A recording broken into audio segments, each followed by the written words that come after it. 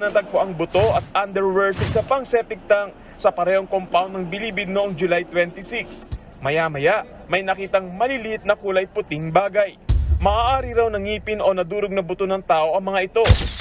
Buwan ng July taong 2023 nang umugong ang mga bali-balitang may isang septic tank sa loob ng New Bilibid Prison ang ginagawang libingan o mass grave ng mga nawawalang inmates.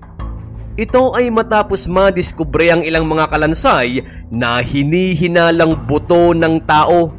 Noon pa man ay hindi nalingid sa kalaman ng lahat sa loob ng kulungan na ang New Bilibid Prison kahit na ito ang pinakamahigpit na kulungan sa bansa ay may iilan pa ring nakakatakas.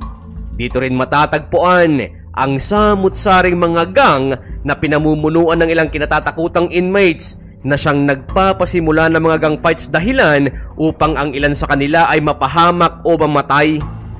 Kung sakaling may mapahamak o matoda sa loob ng kulungan dahil sa mga gang fights, saan kaya nila ito inilalagay? Alam din kaya ito ng pamunuan ng Bucor?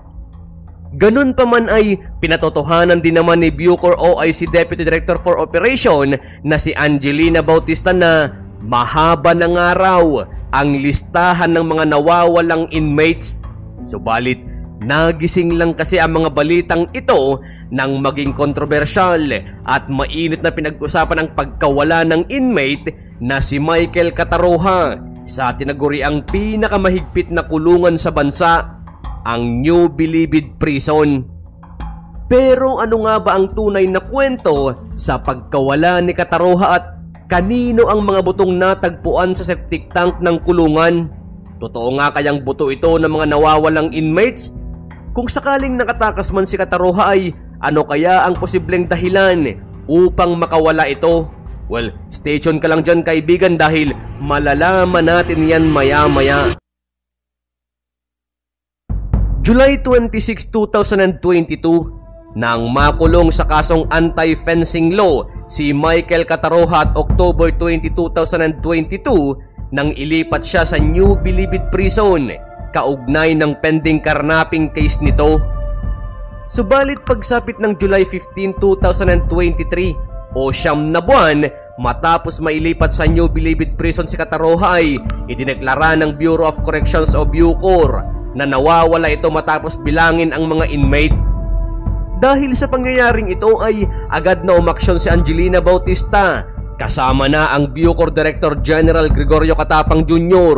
at ilang Bucor personnels upang galugarin ang 10 ektaryang compound ng nasabing bilibid. Ginalugad din nila ang dormitoryo ni Kataruhang ngunit mga damit lang sa kisame ang kanilang nakita. Ayon pa rin kay Bautista ay huling nakitang inmate bandang alas 3 hanggang alas 4 ng hapon kasabay na kumakain ng iba pang mga preso. Ganun pa man ay hindi agad naghinalang Bucor na tumakas ang suspect dahil hindi daw ito ang unang beses na nawala ang nasabing preso. Madalas kasing magpunta ang nawawalang PDL sa dormitoryo ng ibang inmate at dito ay nagtatago siya sa kisame o isinasako ang sarili dahil ang inmate daw na ito ay tila may kulang sa pag-iisip. Isa rin sa tinitignang anggulo ay baka napagtripan o di kaya ay baka itinumba na ng ibang mga preso.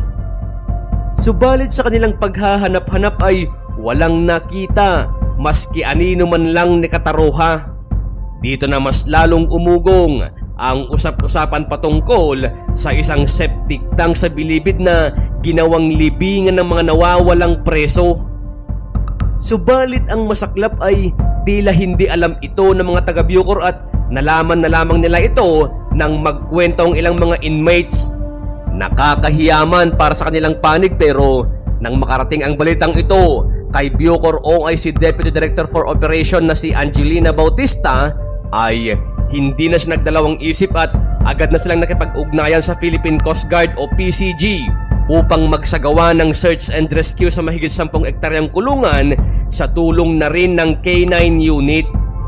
Sa kanilang pag-iimbestiga ay dinala ng K9 dog ang mga investigador sa isang septic tank. Agad naman nila itong pinabuksan kung saan dito ay natagpuan nga ang ilang mga buto at underwear na hinihinalang kay Kataroha. Dito lumabas ang mga haka-hakang patay na ang nasabing person deprived of liberty o PDL na si Michael Kataroha. Lalo pang uminit ito nang sabihin nga ni Bautista na marami talagang nawawalang mga PDL. Ilan sa mga mambabatas ang naging mainit ang mata dahil sa tagal ng investigasyon sa sinasabing pagkawala ni Kataroha. Isa na rito si Misamis Oriental 2nd District Representative Bambi Emano. Subalit pinabulaanan ni Bucor Director General Gregorio Katapang Jr. na kakulangan sa tauhan at labis na dami ng mga nakakulong na preso ang dahilan ng nasabing mabagal na operasyon kung saan halos dalawang libong inmate kasi ang kinakailangang ilipat bago mabuksan ng isang septic tank. Sa isang panayam naman noong July 26 ay inanunsyo ni Justice Secretary Jesus Crispin Remulla na ang nawawalang PDL ay nahanap na. Oo nahanap na raw at hindi sa isang septic tank kundi sa isang gang area sa Bilibid. Patay na ito at putol ang ulo nito at ang mga butong nakita sa septic tank ay malamang na hindi mga buto ni Kataroha. Subalit matapos ang mahigit isang linggo, August 3 nang bawiin ni Remulla ang kanyang naunang pahayag. Ayon sa kanya ay biktima siya ng fake news at base sa resulta mula sa National Bureau of Investigation o NBI, ang mga nasabing buto ay hindi isang tao kundi buto lang pala ng manok at ito ay base sa mga forensic expert na siyang sumuri umano sa mga buto na nakita sa loob ng septic tank. Agad namang iginiit ni Director Katapang na walang ibinigay na maling impormasyon ng Bucor sapagkat hindi nila kinumpirmang kay Kataroha nga ang mga labi. Nang makaharap ng mga investigador ang pamilya ng nawawalang inmate ay mariin nilang itinanggi na hindi nila itinatago si Michael Kataroha. Nakakatanggap na nga daw ang pamilya ng pagbabanta at sila ay labis nang nag-aalala at halos hindi na makatulog. Nananawagan ng ina ng inmate na kung sakaling ang tumakas ito ay sumuko na lang ng mapayapa subalit kung ito ay patay na ay ang tanging hiling lang ng ina ay ibigay sa kanila ang bangkay ng kanyang anak. Subalit matapos ang mahigit isang buwan ay nadakip sa Angono Rizal si Kataroha sa tulong ng isang concerned citizen na nagbigay ng tip. Ayon kay Angono Police Chief Major Lauro Mortillo ay umamin si Kataroha na July 7 bandang alas 9 ng umaga nang siya ay makatakas sa Bilibid Taliwas sa report ng Bucor na July 15 at nakita pa umuno ng hapon na kasamang kumakain ng ibang mga inmate. Dito ay sinabi rin ni Kataroha kung paano siya nakatakas. Ayon sa kanya ay ginaya lang daw niya umano ang security stamp ng Bucor na para lamang sa mga dalo ng NBP. Maliwanag pa sa sikat ng araw ang sinabi niya na idrinowing lamang niya umano sa kanyang braso ang security stamp gamit lamang ang ballpen. Hmm, nakakapagtaka man pero ito ang sinabi ni Kataroha. Dahil dyan ay maraming hindi magandang komento ang natanggap ng Bucor. Kung ganun man daw ang nangyari ay lumalabas na sobrang dadali lang lokohin ng mga bantay sa kulungan. Subalit pagkaraan ng ilang araw ay iba na ang kwento ni Kataroha sa kung paano siya nakatakas sa kulungan. Ayon sa kanyang pahayag sa mismong hearing kasama ng Senado ay nakatakas daw siya sa pamamagitan ng pagsabit nito sa ibaba ng isang garbage truck. Dito ay ipinakita ni Kataroha sa actual reenactment kung paano siya nagtago sa tabi ng chassis ng garbage truck at kung paanong matagumpay siyang nakatakas nang hindi suriin ang ilalim ng sasakyan gamit ang under vehicle search mirror.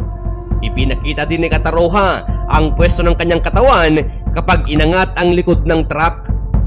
Matapos nito ay nagpagala-gala siya sa C6 Road bago napunta sa Angono Rizal. Dahil sa nangyaring ito ay 30 tauhan ng Bucor ang nasibak sa pwesto.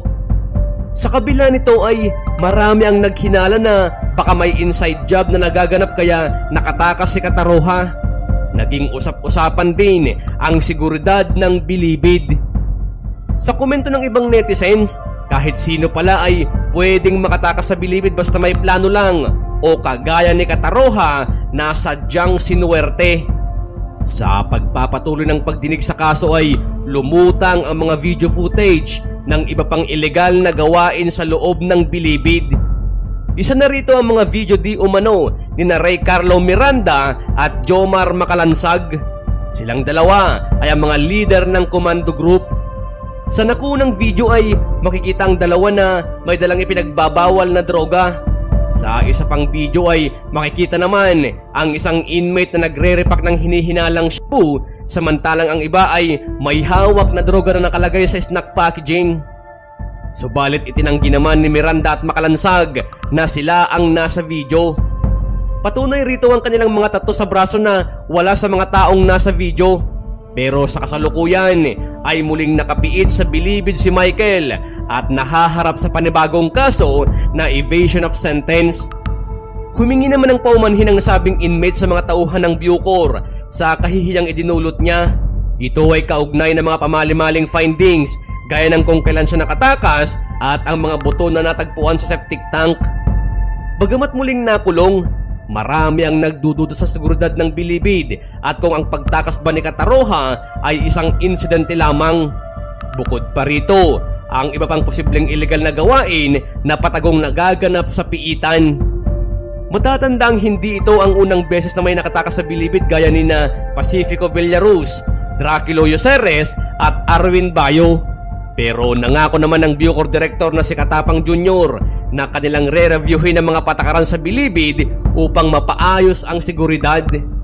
Pero kung ikaw ang tatanungin ko kaibigan sa issue patungkol sa mass grave sa septic tank sa bilibid, although sinabi na nga at kinumpirma umano ng mga forensic expert na buto lamang ng manok ang kanilang nakita ay naniniwala ka din ba? O baka naman may sabwatang nagaganap at itinatago lamang nila ang mga gulo at patayang nagaganap sa loob ng bilibid. Well, iiwanan ko na lamang ang mga katanungang ito mga kaibigan at kayo na ang bahalang sumagot.